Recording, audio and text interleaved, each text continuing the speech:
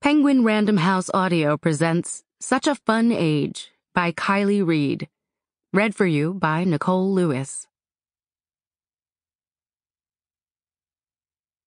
We definitely wait for birthdays, or even an ice cream. Like, my daughter has to earn it. Yesterday we promised her an ice cream, but then she behaved horribly, and I said, Then I'm sorry, ice cream is for girls who behave.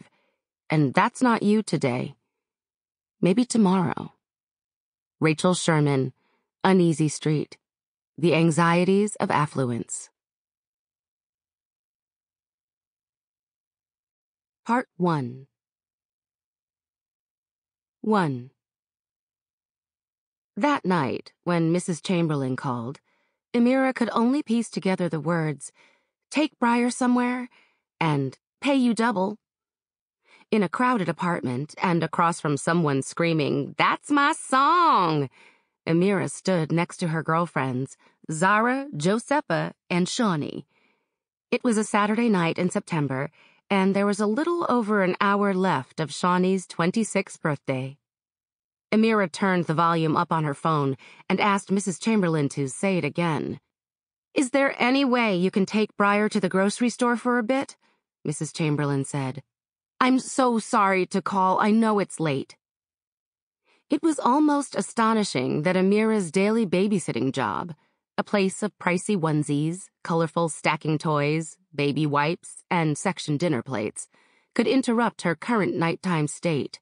Loud music, bodycon dresses, lip liner, and red solo cups. But here was Mrs. Chamberlain at 10:51 p.m., waiting for Emira to say yes.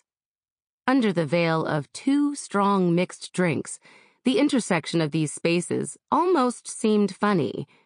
But what wasn't funny was Emira's current bank balance, a total of $79.16.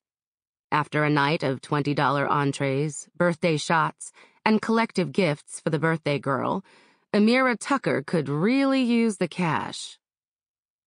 Hang on, she said. She set her drink down on a low coffee table and stuck her middle finger into her other ear. You want me to take Briar right now? On the other side of the table, Shawnee placed her head on Josepha's shoulder and slurred. Does this mean I'm old now? Is 26 old? Josepha pushed her off and said, Shawnee, don't start. Next to Emira, Zara untwisted her bra strap. She made a disgusted face in Emira's direction and mouthed, Ew, is that your boss? Peter accidentally. We had an incident with a broken window, and I just need to get Briar out of the house. Mrs. Chamberlain's voice was calm and strangely articulate as if she were delivering a baby and saying, Okay, Mom, it's time to push. I'm so sorry to call you this late, she said. I just don't want her to see the police. Oh, wow. Okay, but Mrs. Chamberlain? Emira sat down at the edge of a couch. Two girls started dancing on the other side of the armrest. The front door of Shawnee's apartment opened to Emira's left, and four guys came in yelling, Hey! Jesus, Zara said. All these niggas trying to stunt. I don't exactly look like a babysitter right now, Emira warned. I'm at a friend's birthday. Oh, God, I'm so sorry. You should stay. No, no, it's not like that, Emira said louder. I can leave. I'm just letting you know that I'm in heels and I've like had a drink or two. Is that okay? Baby Catherine, the youngest Chamberlain at five months old, wailed in the receiver. Mrs. Chamberlain said, Peter, can you please take her? And then, up close, Emira, I don't care what you look like.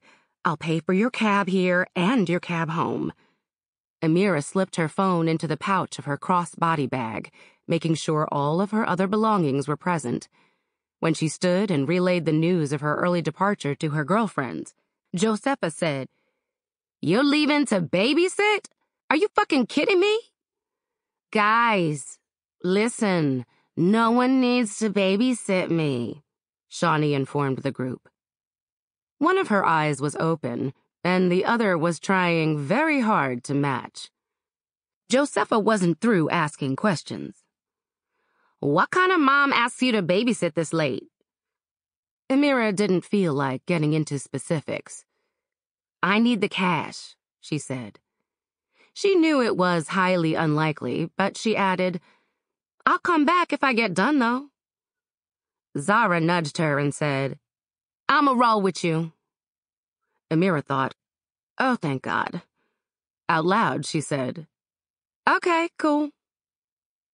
The two girls finished their drinks in one long tip as Josepha crossed her arms. I can't believe you guys are leaving Shawnee's birthday right now. Emira lifted her shoulders and quickly dropped them back down. I think Shawnee is leaving Shawnee's birthday right now, she said, as Shawnee crawled down to the floor and announced she was taking a quick nap. Emira and Zara took to the stairs. As they waited outside for an Uber on a dimly lit sidewalk, Emira did the math in her head. Sixteen times two plus cab money. Fuck yes. Catherine was still crying from inside the Chamberlain house when Emira and Zara arrived. As Emira walked up the porch stairs, she spotted a small, jagged hole in the front window that dripped with something transparent and slimy. At the top of the landing, Mrs. Chamberlain pulled Briar's glossy blonde hair into a ponytail. She thanked Emira, greeted Zara the exact same way she always did, Hi, Zara, nice to see you again.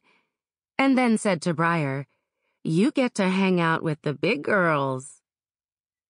Briar took Emira's hand. It was bedtime, she said. And now it's not. They stepped down the stairs, and as the three girls walked the three short blocks to Market Depot, Briar repeatedly complimented Zara's shoes an obvious but unsuccessful ploy to try them on. Market Depot sold bone broths, truffle butters, smoothies from a station that was currently dark, and several types of nuts in bulk. The store was bright and empty, and the only open checkout lane was the one for 10 items or fewer. Next to a dried fruit section, Zara bent in her heels and held her dress down to retrieve a box of yogurt covered raisins. Um, eight dollars? She quickly placed them back on the shelf and stood up. God damn, this is a rich people grocery store. Well, Emira mouthed with the toddler in her arms, this is a rich people baby. I want this. Briar reached out with both hands for the copper colored hoops that hung in Zara's ears. Emira inched closer. How do you ask? Peas. I want this now, Mira, peas. Zara's mouth dropped open. Why is her voice always so raspy and cute? Move your braids, Emira said. I don't want her to yank them. Zara tossed her long braids. A dozen of them were a whitish blonde over one shoulder and held her earring out to Briar. Next weekend, I'ma get twists from that girl my cousin knows. Hi, Miss Briar. You can touch. Zara's phone buzzed. She pulled it out of her bag and started typing, leaning into Briar's little tugs. Emira asked, Are they all still there? Ha! Zara tipped her head back. Shawnee just threw up in a plant, and Josepha is pissed. How long do you have to stay? I don't know. Emira set Briar back on the ground. But Homegirl can look at the nuts for hours, so it's whatever. Mira's making money. Mira's making money. Zara danced her way into the frozen food aisle. Emira and Briar walked behind her as she put her hands on her knees and bounced in the faint reflection in the freezer doors, pastel ice cream logos mirrored on her thighs. Her phone buzzed again.